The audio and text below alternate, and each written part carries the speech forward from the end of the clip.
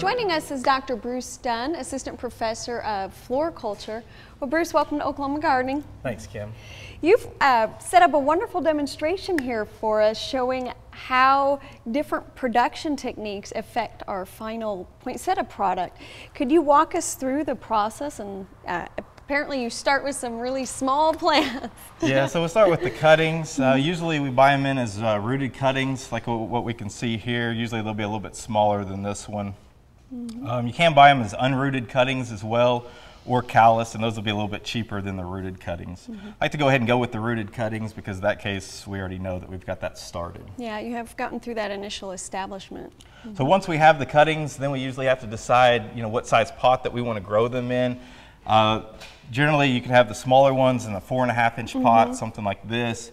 The uh, traditional size is in a six inch. Okay. That's what's uh, most common. And then you have the larger one, something like this one, in an eight inch pot. Now each of these has one single cutting per pot. How many go into the larger? Yeah, so for the eight inch one, generally we'll put seven cuttings in it, six around and then one in the center. But yeah, the four and a halfs and six inches have one cutting. And that just makes a fuller plant in that large pot. Right.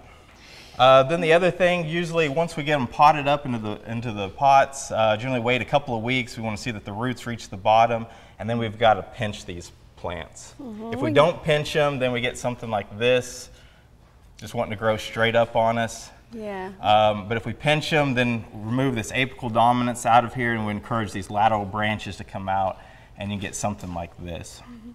Now, a lot of gardeners are familiar with this. We do this in our own Darkolias and other plants. right. So, and then mm -hmm. depending on the, the, the, type of pinch, you can do a soft pinch, which is just removing the very top uh, piece of the apical uh, stem here, or you can do a harder pinch and remove, uh, you know, maybe one to three inches, mm -hmm. still still leaving about seven nodes, and you can see ultimately that's going to affect the size of your plant as to how is your uh, pinching. Yeah, you get a much more compact plant uh, with the harder pinch. Right. So you need so you need to pinch them to get this lateral uh, mm-hmm. branches to come out to have this good growth on them. Mm -hmm. It's really obvious the how, yeah. how nice and full it is. Right. And then the other thing though, for the eight inch, we don't pinch those. We just let those grow straight up because we have so many cuttings in there. We don't we don't need those lateral branches to come out. Mm -hmm.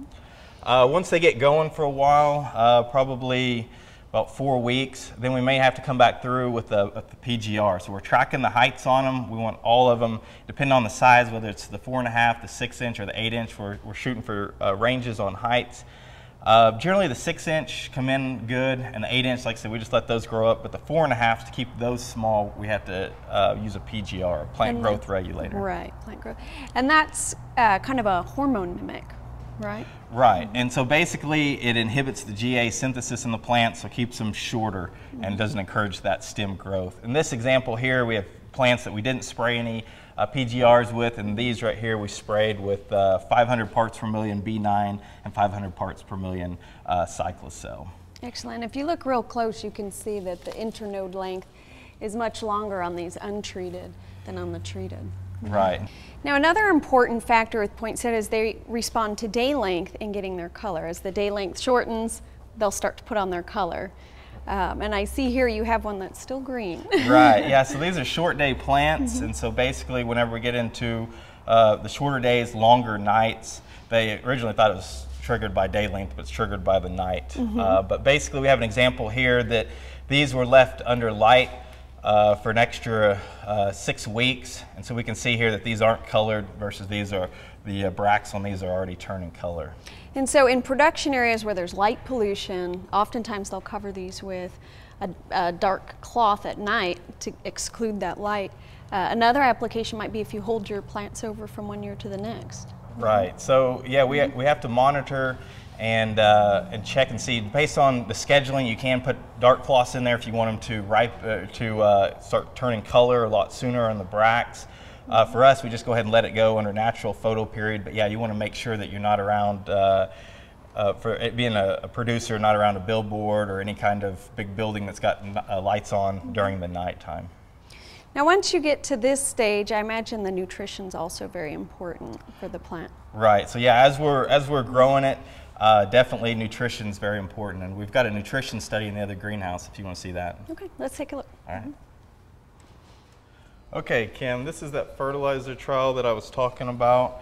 Uh, this shows you an example here of a plant that doesn't get any nitrogen or any fertilizer. Yeah, very yellow, very stunted. Right, and then you have ones, a step up from that would be uh, five grams of fertilizer here. And A little bit stronger growth. Right, so, and then you have one that's about 10 grams of fertilizer. Okay. I noticed the color's getting better as well. Yeah, and so that, that could be just uh, the position here in the greenhouse or it could be fertilizer. And then you have this one here, then this is 15 grams. So we can see clearly the, the difference between like a 5 or 10 and then the 15 grams. So that's what, we, what we'd want to go with on that.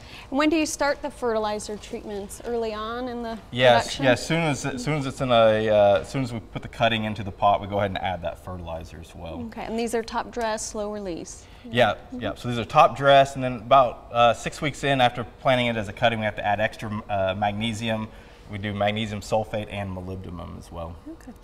Now you mentioned watering as also being critical um, for root development and avoiding diseases. Right. If you give them too much water, uh, something like this plant here, they will rot out on you. You can tell with the yellowing, the rolled up leaves.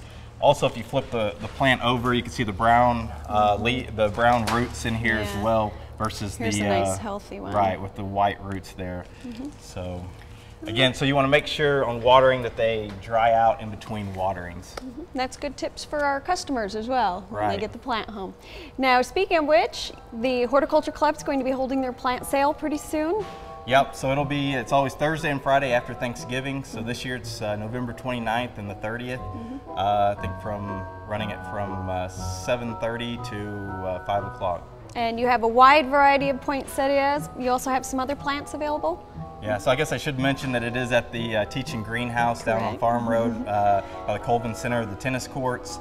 And yeah, we also have some uh, dianthus, some caladium, some uh, ornamental cabbage, uh, and some chard as well. Well, They always have beautiful plants and for a wonderful cause, so I'm certainly look forward to that. Thank you so much for setting up this demonstration for us, Bruce. Thanks for coming out.